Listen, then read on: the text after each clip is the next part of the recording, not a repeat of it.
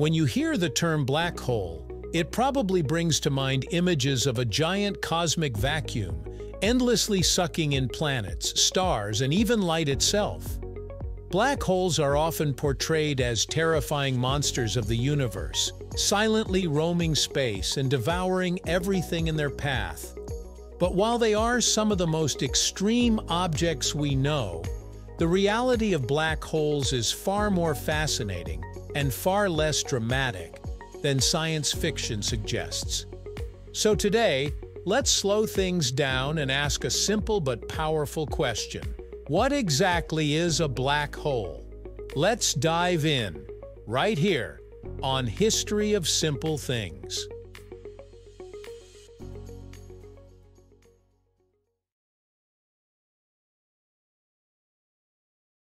To understand black holes, we first need to talk about gravity. Gravity is the force that pulls objects toward each other. Earth's gravity keeps us on the ground, the Moon's gravity affects the tides, and the Sun's gravity holds the entire solar system together. The more massive an object is, the stronger its gravity becomes.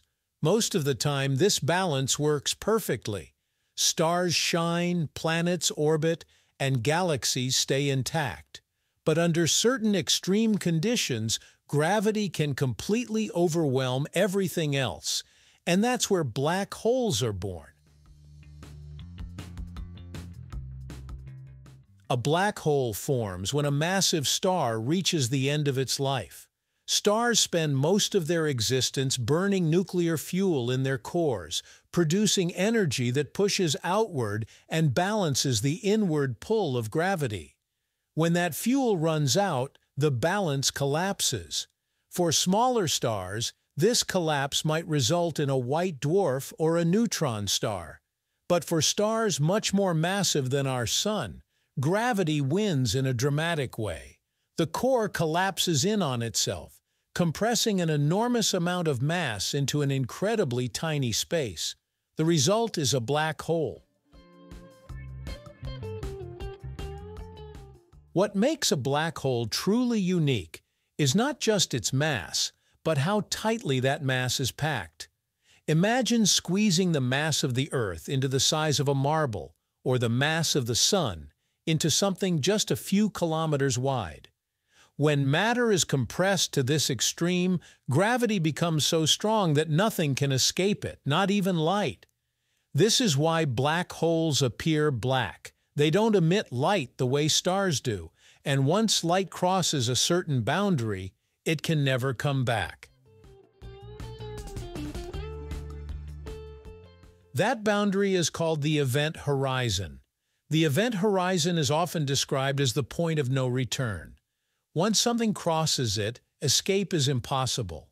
Not because the black hole suddenly pulls harder, but because space itself is so warped that all possible paths lead inward. From the outside, the event horizon looks like a dark, invisible surface surrounding the black hole. From the inside, however, the laws of physics as we know them completely break down.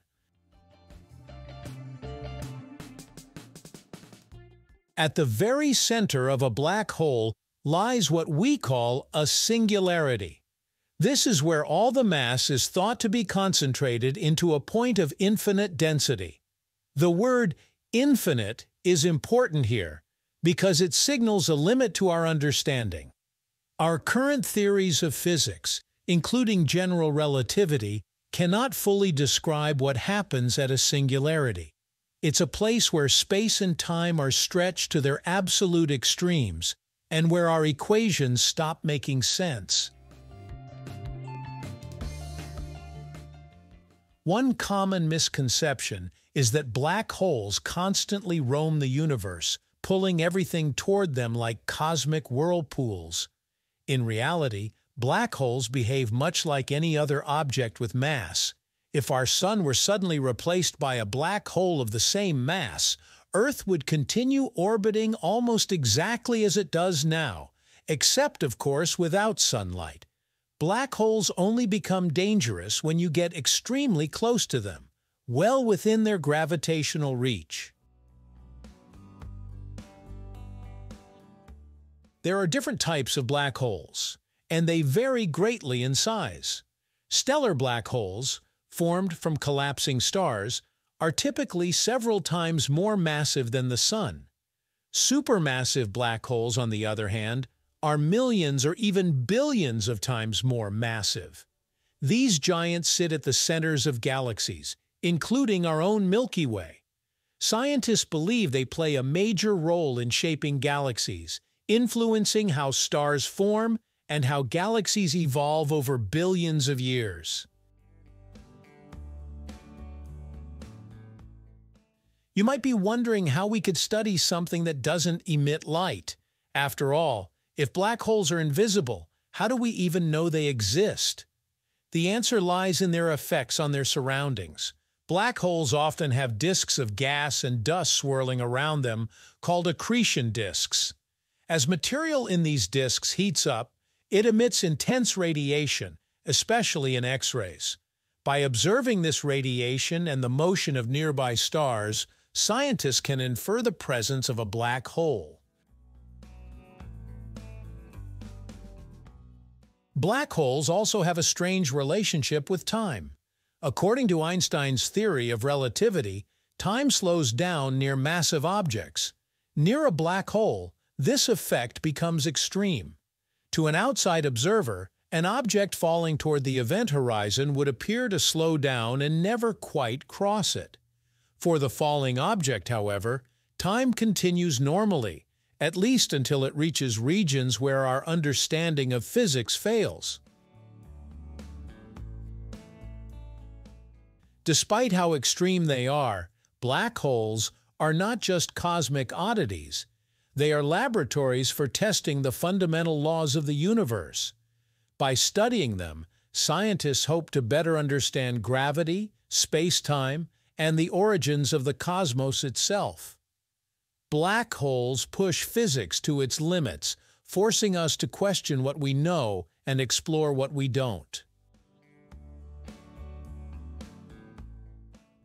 So, what exactly is a black hole?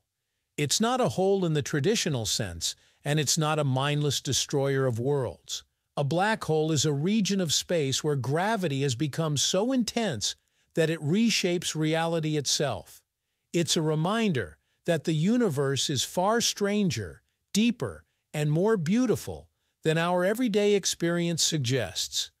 And the more we learn about black holes, the closer we come to understanding the universe and our place within it.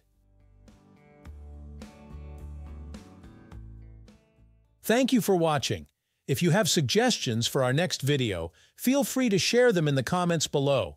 We'll be sure to give you an acknowledgement for your contribution. If you enjoyed this video, please check out our other bingeable channels.